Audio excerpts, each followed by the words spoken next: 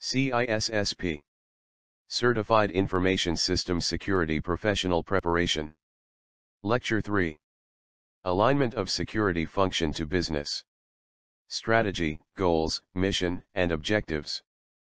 Vision, Mission Goals, Objective Strategy. Vision Big picture of what you want to achieve. For example a successful family dairy business. Mission is a general statement of how you will achieve the vision. An example is to provide unique and high-quality dairy products to local consumers. A goal is a general statement of what you want to achieve. A goal should be consistent with the organization's mission statement or philosophy, and it should help define a vision for the organization. Objectives provide specific milestones with a specific timeline for achieving a goal.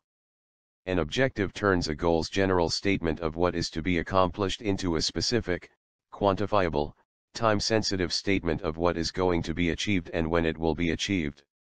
Examples of business objectives are Earn at least a 20% after-tax rate of return on our investment during the next fiscal yearly. A strategy is a statement of how you are going to achieve something. An organization's strategy, describes how it accomplishes its mission. Information security function must align with the business strategy, goals, mission, and objectives of the organization. Proper alignment with the organization's mission, strategy, goals, and objectives also helps to build business cases, secure budgets, and allocate resources for security program initiatives. Strategically aligned security functions work as a business enabler that adds value to the business.